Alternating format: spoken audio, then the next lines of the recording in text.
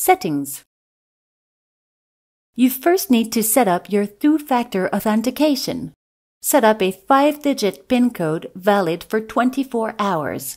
You can use this PIN to access the app instead of your username and password. The DCO Central landing page lists all testing orders assigned to you by the sample collection agency and indicates whether the app is online or offline.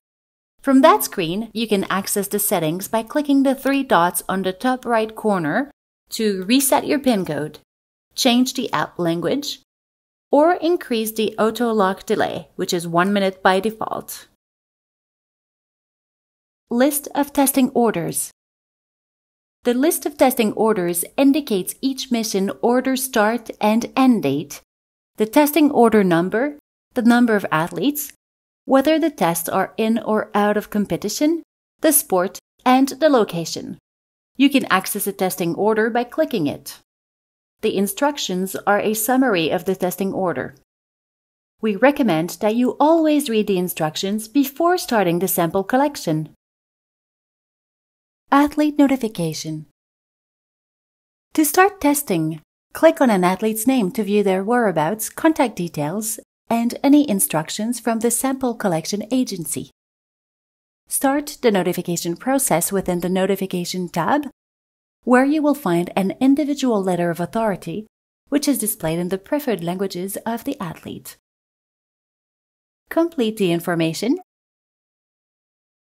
and collect the athlete signature. Sample collection.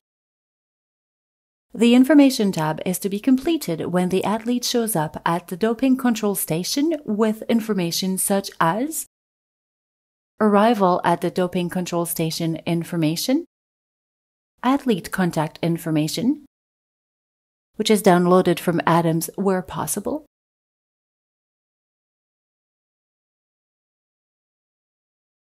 athlete's sport discipline, level, and support personnel information, declaration of medical use and blood transfusion.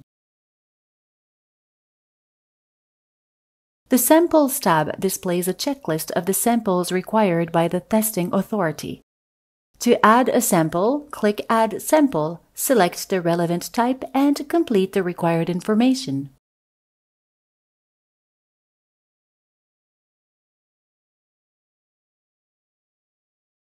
The final document is displayed in both the language of the athlete and of the DCO.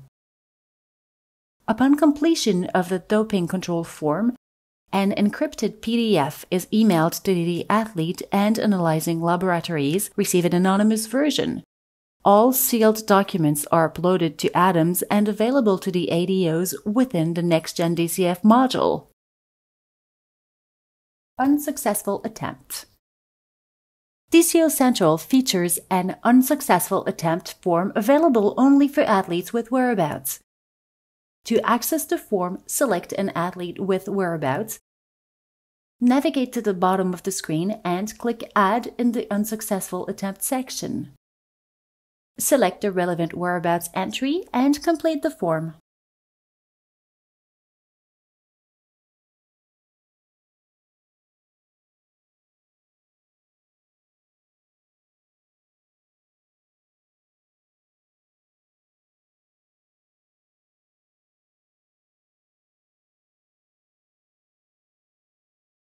Athlete refusal. Should an athlete refuse to provide a sample, open the relevant test. On the top right corner, click on the three dots and select Athlete Refusal. Complete the form and submit.